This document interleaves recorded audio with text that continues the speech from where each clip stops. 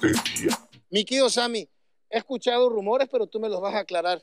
¿Es cierto que antes aquí en Tamulté la chamacada era, era brava, era de carácter? Antes Sí, ha- sí, había sí. trancazos. Sí, sí, había trancazos, había trancazos y sí, había de todo, había de todo. Ahora sí que tenía uno que buscarle, ¿no? Echarle y pues te digo, ejemplo eso con lo de la, con lo de la tortilla, ¿no? Que iba uno, le buscabas y pues te encontrabas, te tenías que agarrar a golpe con el que fuera enfrente. Ahí empieza un poco la historia de Sammy. Ahí empieza Sammy Ventura a surgir. Oye, Sammy, ¿qué de cierto hay que también fuiste carnicero? Así es, también estuve en la carnicería.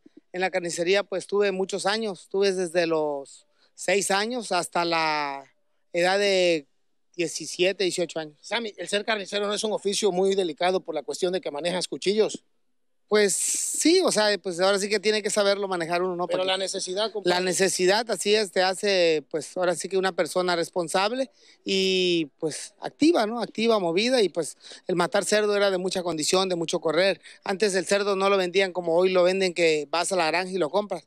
Antes el cerdo salías y lo ibas a, a correr al platanal.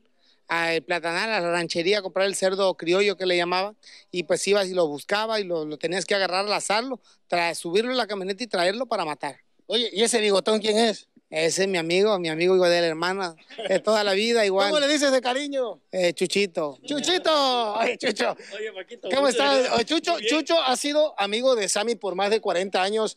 ¿Qué me puedes decir de la adolescencia de Sammy? ¿Dónde conoces al Sammy? Samuel lo conozco, eh, yo estaba entrando a la secundaria y él trabajaba, como lo menciona ahorita, en una carnicería. Y este, ahí teníamos un amigo que estudiaba con nosotros y ahí conozco a, a Samuel.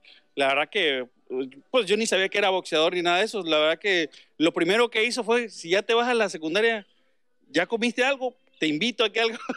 Así te. Así de plano, ya sabes cómo es este hombre, ¿no? Lo primero fue, fue de lo que tenía él, te daba, ¿no? Ofrecerme este, carnitas y ya comiste algo, o come aquí y ya te vas comido a la escuela y todo eso. Y de ahí nos empezamos a llevar muy bien. Eh, tal es así que ya luego me invitó él a que lo ayudara yo en la, en la matanza. Me dice, oye, ¿no quieres venir a ayudarme los fines de semana ya que no vas a la escuela? Y yo, ¿cómo no? Y pues, pues eso ahí fue donde conocí yo realmente lo que era el, el oficio de matar un cerdo y toda esa parte. Y, Que no debe ser un oficio fácil, ¿no? no, no, no, yo a mí me daba un terror terrible. Ahora sí. De hecho, cerdo, ay, ¿no? el cerdo de pronto puede ser hasta agresivo. No. sí, sí, sí, la verdad que este es algo muy, muy delicado. Lógicamente, como es un oficio, pues con el tiempo se te va pasando esa parte, ¿no? Pero, pero para mí fueron eh, cosas eh, muy increíbles porque eh, pon tú, Samuel era un intercambio de, dice, ayúdame, no había dinero de por medio, dice, de lo que yo haga, te toca un litro de manteca, te toca carnita y con eso mi mamá era feliz. Óyeme, qué interesante. ¿Tu nombre completo, hermano? Jesús Manuel Sánchez de la O. Óyeme, Jesús. Y de ahí fue naciendo la amistad. Y hoy, a pesar de todo lo que ha logrado el Sammy, que es un hombre reconocido mundialmente, sigue siendo el mismo que conociste. No, la misma, todavía mejor. mejor todavía, este, no, yo recuerdo, eh, fíjate que ahorita, no, tú lo has de haber mencionado, ¿no? Ya no hay este tipo de, de personajes que, que tengan ese tipo de antecedentes, ¿no? A veces el boxeo es un deporte súper difícil. Yo veía a Samuel, o sea, a mí me impresionaba verlo, ¿no? Porque no solamente llegaba a trabajar ahí, sino trabajaba en, en dos o tres matanzas, esa era una de ellas, y decía, híjoles, lo veía yo luego que terminamos y se ponía arriba de una tara a hacer abdominales. Y yo, oye, ¿qué onda? No, dice que estoy entrenando y todo eso. Y dice, hoy no me dio chance de correr, dice, pero me voy corriendo. La carnicería estaba en Atasta, en la calle Eduardo, en la calle Eduardo Alday. Y de ahí se iba, dice, como no me dio chance hoy de, de correr, pues de aquí me voy corriendo a las gaviotas, a su casa, ¿no? Y lo veía correr y, y luego Luego Con- matado tres puercos. no, y olvídate de eso, luego correr botas petroleras, o sea, porque no había para tenis todavía, ¿no?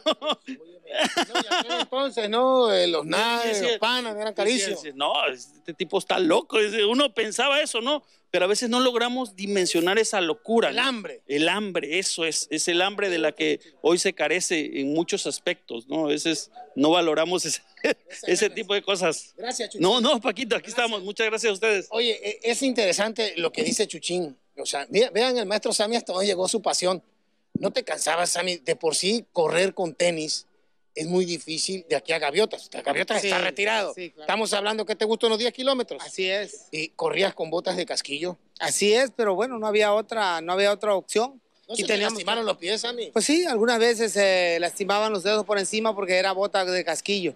Entonces, pues como es bota de fierro, pues prácticamente te lastimaba, ¿no? Cuando ya llegaban a estar muy vieja, pues salía el, el, el, el- el acero de la bota, salía por dentro. Entonces no se veía, pero pues bueno, ahí ni modo, teníamos que aguantar, o sea, no de otra. Y pues bueno, ¿qué te puedo decir, Paquito? Eso en lugar de hacernos más débil, nos hacía más fuerte y pues es lo que nos sacó adelante.